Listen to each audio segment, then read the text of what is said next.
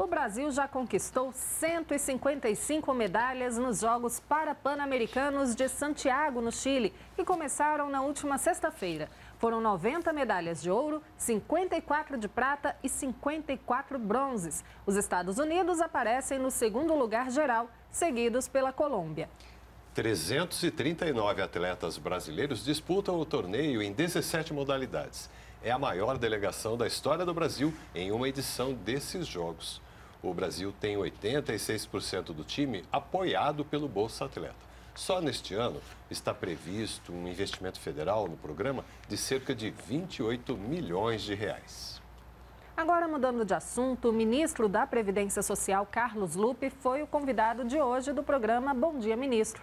Hoje, cerca de 39 milhões de brasileiros recebem benefícios do INSS, como aposentadoria, pensão, salário maternidade e seguro-saúde. É verdade. Para agilizar esses processos, o ministro Carlos Lupe antecipou que a meta do governo para o ano que vem é reduzir o tempo de espera na fila para 30 dias. Na conversa com radialistas de todo o país, o ministro Carlos Lupe detalhou as ações da pasta, entre elas o programa de enfrentamento à fila da Previdência Social, sancionado pelo presidente Lula na semana passada para reduzir o tempo de análise de processos administrativos do Instituto Nacional do Seguro Social, INSS. Mensalmente, hoje, para você ter uma ideia, nós recebemos de 950 mil a 1 milhão de pedidos por mês, chamados pedidos iniciais. Pessoas que fazem algum requerimento por algum pedido pelo meu INSS, a nossa plataforma digital, pelo 135, nosso uhum. sistema de telefonia, e nas agências e convênios de todo o Brasil que a Previdência tem. Quando o governo Lula assume, nós começamos a arrumar esse processo. Então, ao arrumar esse processo, nós sentimos necessidade de ter um programa específico, especial, que até parece sigla de partido, é PEF, Programa de Enfrentamento da Fila, PEF. Com este programa de enfrentamento à fila, até o final do ano, o INSS quer atender a todas as demandas num prazo máximo de 45 dias. Hoje nós estamos com 55% é, das pessoas sendo atendidas em até 45 dias.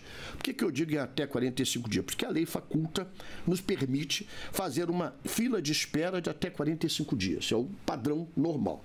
Estamos com 55% nesse processo de 45 dias. Para você ter uma ideia, nós assumimos, tínhamos cerca de 28% a 30% em 45 dias. Quer dizer, estamos afunilando. Nós começamos do fim da fila, que era mais de um ano, um ano e meio, filas de até dois anos, para vir para os 45 dias. E até dezembro, nossa intenção é colocar todo mundo em 45 dias de espera. Para que ano que vem nós começamos a pensar um novo modelo, um modelo mais ágil, mais rápido. Nós estamos trabalhando para isso. Esse programa de enfrentamento à fila é emergencial para resolver essa demanda demasiada que está com muito longa espera. E eu tenho certeza que muitos que estão me ouvindo ainda têm reclamação, é óbvio, é natural, uhum. mas muitos também estão reparando que está se mudando a Previdência Social. E para o ano que vem, o tempo de espera será ainda menor. E eu sou um pouco assim ousado. Eu pretendo que ano de 2024 nós tenhamos todos em uma fila de 30 dias até o final do ano que vem. Para isso, a gente está fazendo uma série de medidas. Né? Estamos criando agora, é importante essa oportunidade, se você me permite claro. falar, o ateste médico. O que é ateste médico? Se eu me adoeço, Deus nos permita que não, eu, para poder tirar licença médica, eu tenho que apresentar um atestado de um médico para o meu patrão, senão meu patrão não, não dá o um atestado para mim, não deixa, não me libera do trabalho. Ora, aí se eu tenho um atestado do médico, esse médico está registrado, tem o CRM dele. Normalmente, 90% é vinculado ao SUS, Sistema Único de Saúde. Por que, que a Previdência tem que pedir um outro atestado?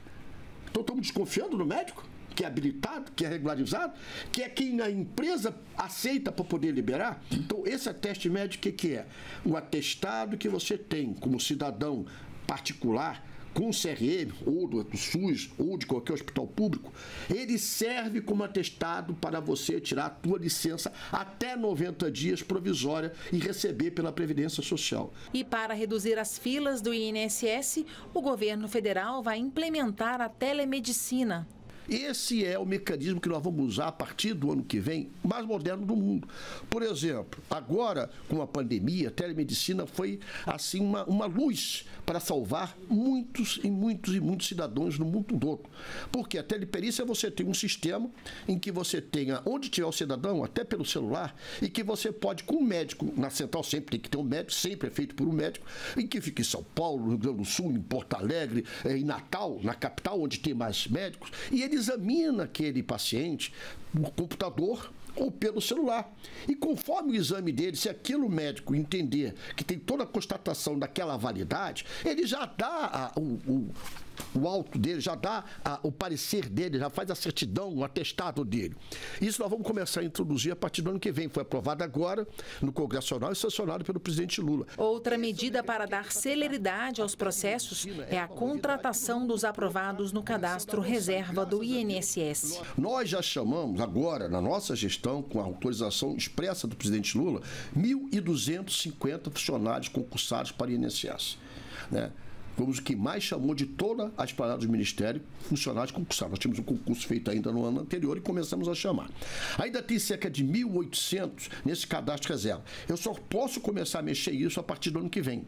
Porque os últimos 250, que dependia apenas de uma, um pedido meu com autorização e a concordância da ministra externa, da gestão, nós conseguimos chamar 250. O que acontece com esses últimos 250? Vão para treinamento, são qualificados, distribuídos para todo o Brasil, conforme a necessidade, conforme o concurso que eles foi aprovado determina, para depois chamar outros desse cadastro reserva. Eu tenho é, a esperança, a expectativa, trabalho para que ano que vem a gente consiga chamar, se não todos, boa parte desse quadro de reserva de cerca de 1.800 funcionários.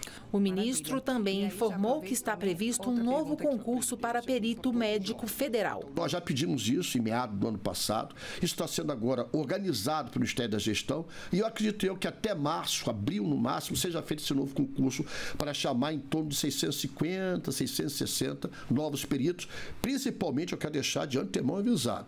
Esses novos peritos serão para esse chamado Brasil profundo, para as regiões que precisam. Não adianta fazer concurso para dizer que depois vai arranjar padrinho para ir para as capitais onde não precisa peritos, preste atenção que eu não gosto de enganar ninguém.